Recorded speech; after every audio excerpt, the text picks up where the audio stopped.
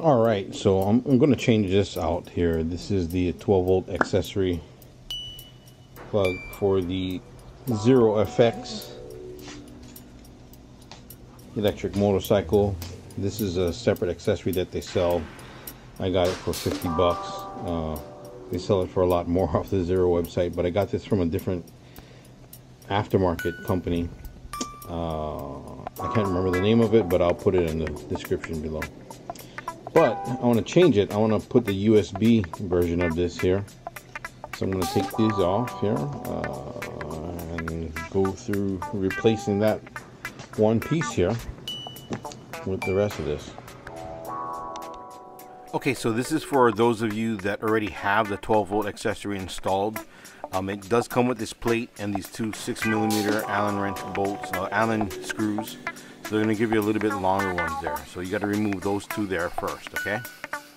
Okay, so after that, you're going to have to take off these one, two, three, four, number 3 Allen bolts and then the plastic snap on the side oh. there. I'll get a better shot of it for you in a second here. Okay, and all you got to do is pop out the center and then the rest of it will come right out. Oh.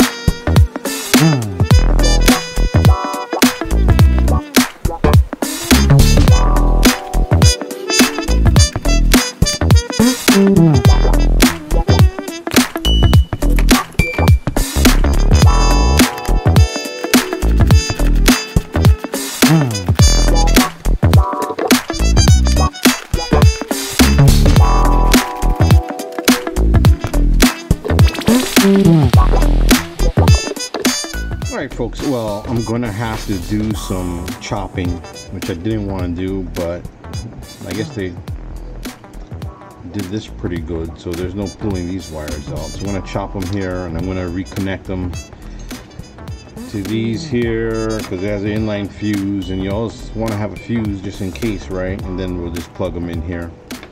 Of course mount this back on the original bracket here. Okay uh, not quite finished product yet but uh, a little tip for you before you put everything back together. Always check and make sure it's working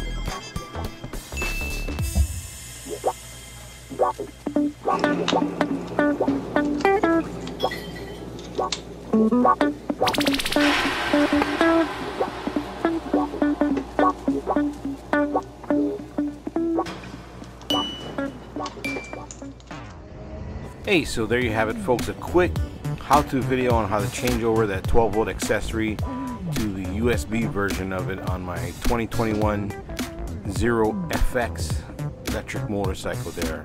If you have any comments or questions, please feel free to comment below. And if you like what you saw, please hit that like and share button. Until next time, take care and aloha folks.